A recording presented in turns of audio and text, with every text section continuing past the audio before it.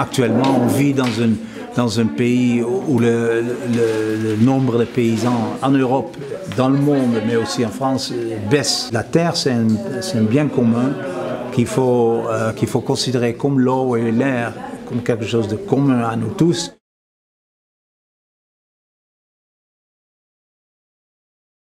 Cette initiative sort de, de notre euh, déménagement d'Amsterdam euh, dans l'arrière-pays de la Drôme, de Préalpes, en 73, pour faire le retour à la nature, le retour à la, oui, le retour à la nature, le retour à la ferme. Et qu'on a fait, on a commencé une ferme de, de chèvres et ensuite des plantes aromatiques dans la vallée des Quins, pas loin de Die, dans la Drôme. Cette expérience, surtout notre rencontre avec les vieux paysans du coin qui attendaient à la fin de leur civilisation, je le raconte partout, euh, à nous inspirer de rester et de prendre le relais. On a euh, appris le métier d'eux, on a ajouté. Pour eux, c'était fini parce qu'ils ne savaient pas s'adapter à la temps moderne. Nous, on a mieux s'adapté et on a adapté leur savoir-faire, leur tradition au temps moderne. Mais on n'a pas cassé, on a continué. Quand on est allé en retraite, on a trouvé des jeunes qui, qui ont repris euh, euh, et on a pu installer des autres dans notre village et ça nous a donné l'idée de, faire ça sur une autre échelle. Pour ça, on avait besoin d'une autre forme de, de structures que le groupement foncier agricole qui existait déjà et où les gens mettaient ensemble un peu de sous pour acheter une ferme pour un voisin, un ami, un, un, un, un fils, un neveu, etc.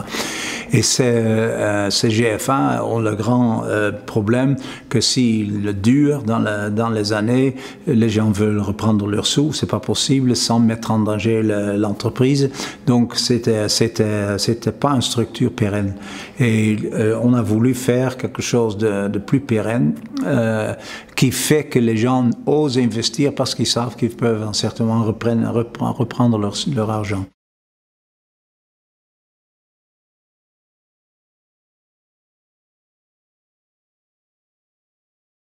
On a fait euh, Terre de Liens ensemble avec un groupe de travail d'abord, avec euh, le réseau comme le Rome Relié, le FNAB, l'agriculture biodynamique, mais surtout la NEF qui amenait le savoir-faire sur le, le financier. En 2003, on a créé une, association, euh, Terre de Liens nationale.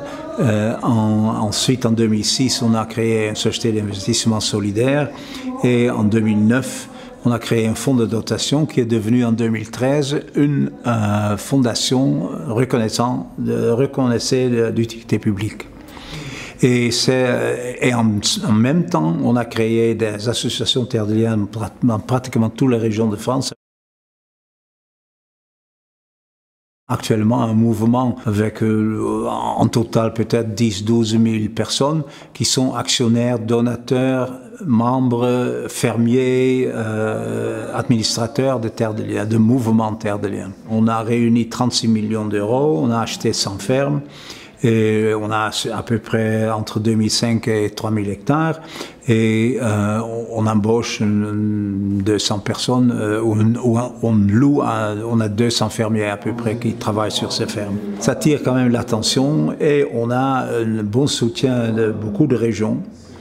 Euh, et on a récemment enfin un accueil dans le ministère on, est reçu par le ministre, on va faire une, on va être, avoir une modeste participation peut-être de, de, de, de, ministère à notre fonctionnement.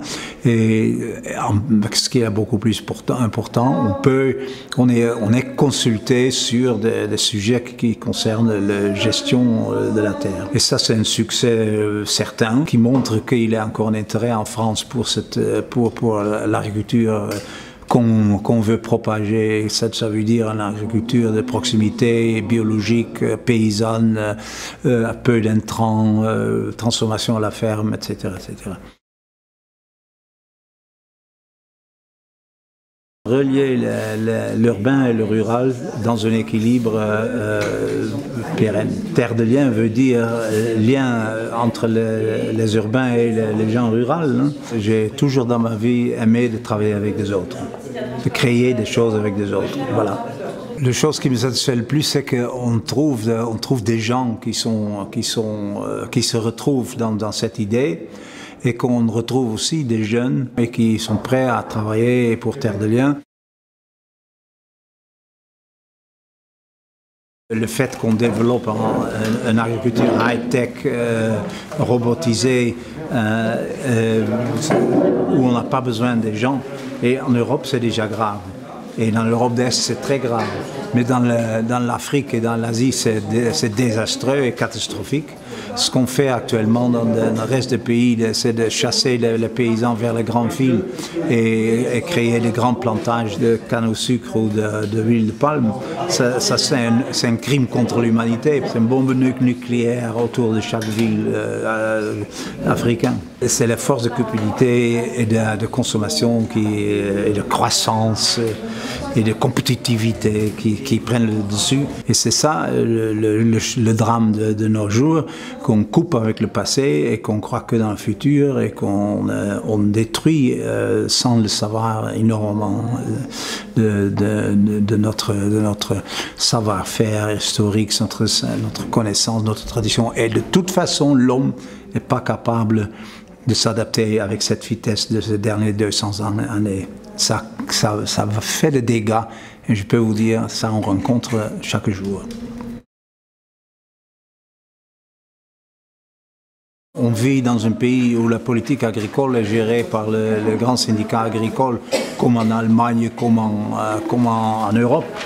La politique agricole en commun, c'est une politique euh, pour soutenir l'agriculture industrialisée.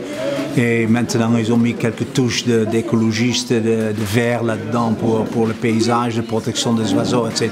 Il faut créer un équilibre entre une agriculture citoyenne, laissons-nous dire, et une agriculture industrielle. Euh, on n'est pas écouté. Ça, c'est très, très dur et ça prend énormément de temps. Et le fait qu'on a toujours la, la, propriété de, la terre, c'est une aberrance qui, qui, nous, qui nous empêche de faire, de faire un, vrai plan d'aménagement euh, comme il faut. Il faut qu'on fait des choses ensemble. Il ne faut pas se mettre autour du table et dire on, est, on pense tous pareil, c'est bien, on va faire des, de, de, coalitions. Il faut, il faut y mettre des sous et d'énergie. Et, et, et ce n'est pas suffisant d'être d'accord. Si on est d'accord, il faut s'organiser. L'agriculture d'autrefois, où le paysan était souvent pas seulement paysan, mais aussi euh, artisan, euh, boucher, euh, vannier, chasseur, bon, tu peux faire la liste très longue. C'est, à mon idée, le type de l'agriculture qu'on peut énormément développer en France au lieu d'assister impuissant à la déclin de l'agriculture paysanne dans notre pays, dans l'Europe, dans le monde. Terre de Liens est un petit euh, acteur dans ce monde et la seule chose qu'on veut, c'est dans une coalition plus importante d'être, d'amener nos, savoir-faire sur la gestion de la terre, qui est une des bases de, de, de priorités à résoudre.